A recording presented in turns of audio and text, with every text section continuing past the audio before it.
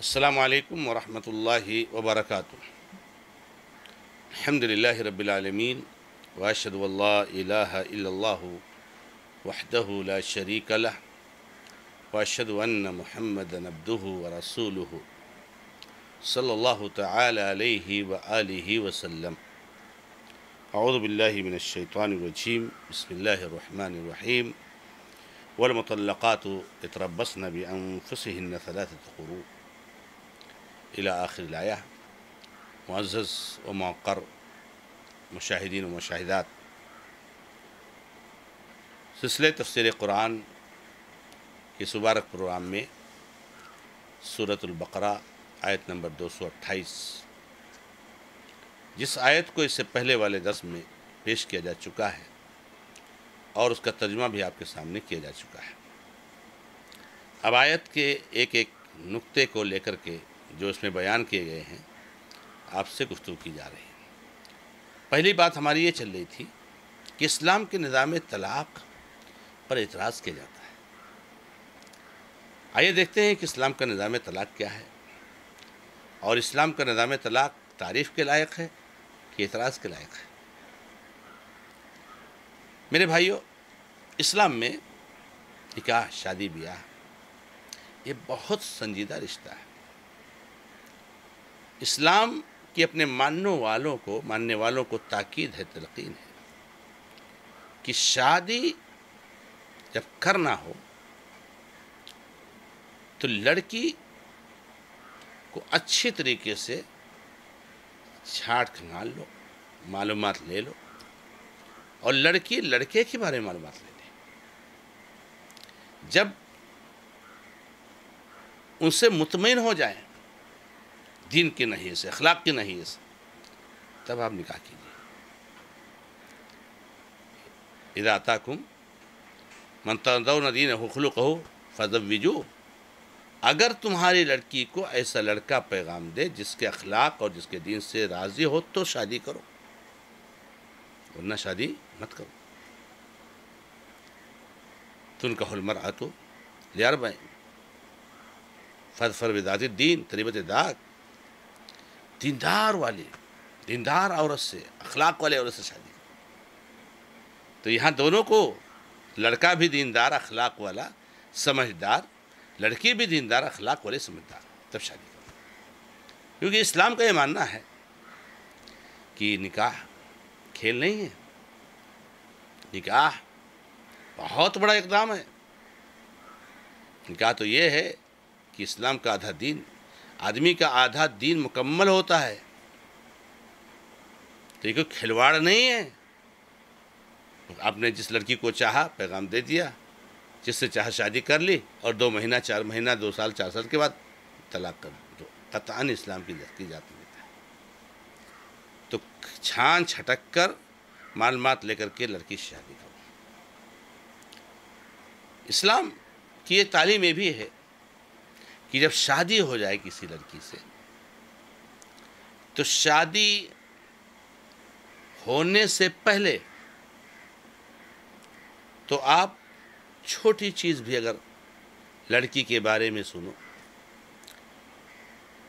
लड़की लड़के के बारे में छोटी चीज़ सुने तो ना शादी करो। और अच्छा तलाशो लेकिन जब शादी हो जाए तो इस्लाम अफव दरगुजर का हुक्म देता है। नज़रअंदाज करने का हुक्म देता है। छोटी छोटी बानों, बातों को बतंगड़ ना बनाओ इशू ना बनाओ।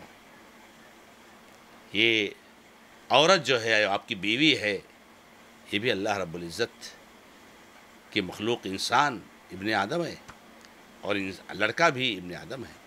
सबसे गलती होती है। सब में कोताहियाँ होती हैं। नबी वसल्लम ने तो यहाँ तक कहा अगर तुम अपनी बीवी के अंदर कोई कमी महसूस करते हो तो ज़रा उसके उस पहलू पर गौर करो जो अच्छाइयाँ हैं। अल्लाह कोई कमी देख करके आप नाराज़ हो जाओ अपनी बीवी से, उसको तलाक दे दो। तो उसके अच्छाए अच्छे पहलू को देखो। एक लड़की भी देखे अपने शोहर के अंदर, एक लड़के, शोहर भी देखे अपनी बीवी के अंदर। तो अब शादी हो गई है, नज़रअंदाज का मामला होना चाहिए। अफव दरगुजर का मामला होना चाहिए। इसलाह की कोशिश होनी चाहिए। बीवी के अंदर जो कमी है, उसको सुधारने की कोशिश करे शौहर। शौहर के अंदर जो कमी है, उसको सुधारने की कोशिश करे बीवी। और इस तरीके से अफव दरगुजर, सब्र तहमुल बर्दाश्त, हिल्म, बुरदबारी, समझदारी, संजीदगी और नज़रअंदाज करते हुए ज़िंदगी चलनी चाहिए।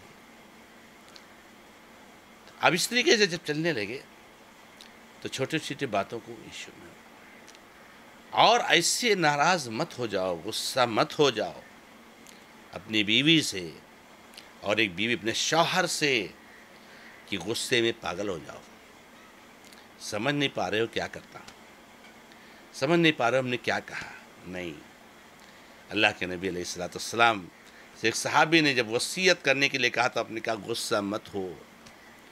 कहा, और नसीहत कीजिए। कहा, गुस्सा मत हो, और नसीहत का गुस्सा मत हो। कहते रहे, आप नहीं कर सकते। गुस्सा मत हो, गुस्सा को कंट्रोल में रखो।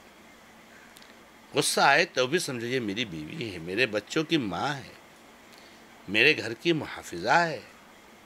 एक शौहर शौहर के बारे में बीवी समझे कि मेरे बच्चों के अब्बा हैं। मेरी रोज़ी रोटी इनके ज़रिए से चल रही है।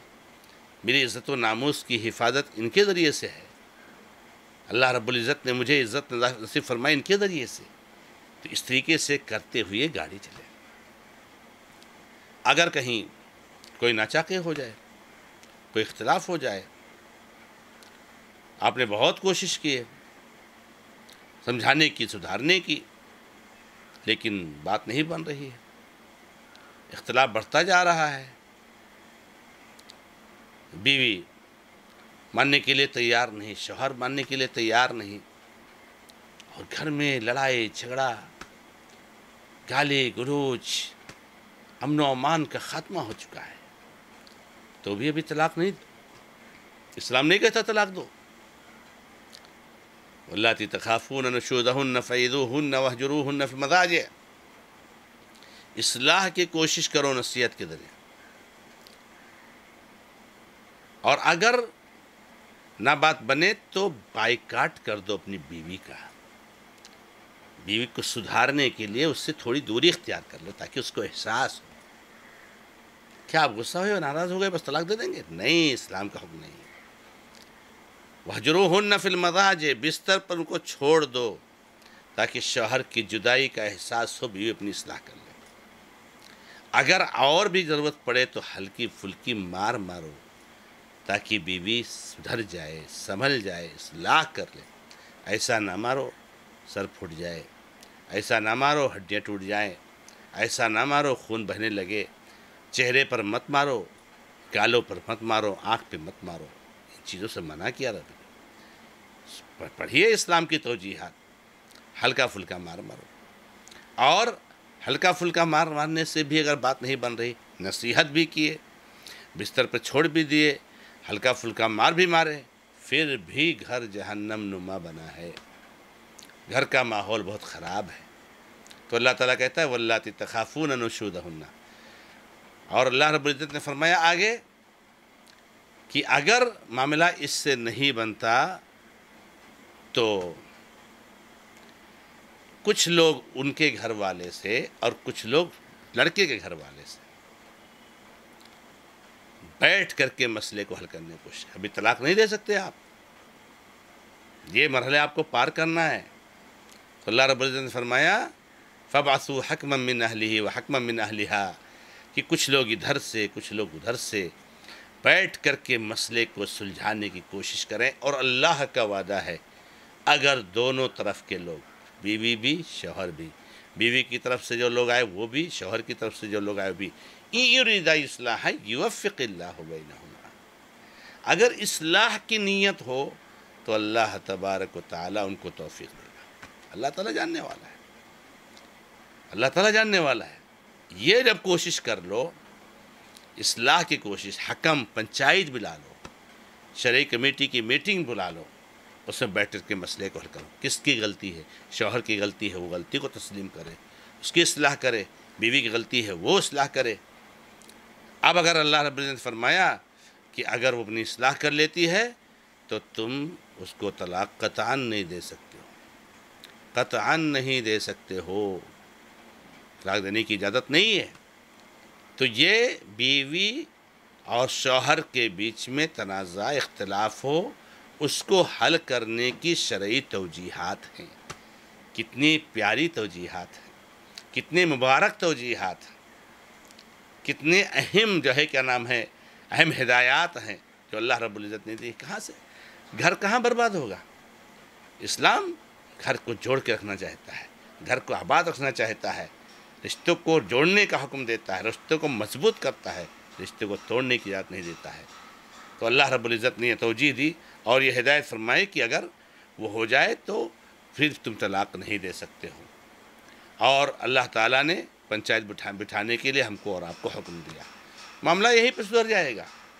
बहुत कम मामला होंगे जो इसके आगे जाएँगे। तो अल्लाह रब्बुल इज़्ज़त ने तो जिहाद फरमाई। बाकी उसके बाद जो तो जिहाद है इन अगले दस में ज़िक्र करेंगे। अदमा इंदी अल्लाह तालम अलहमदिल्ला रबालमीन वसल महमद वसलम तस्लीम कसीरा। वरहमल वर्क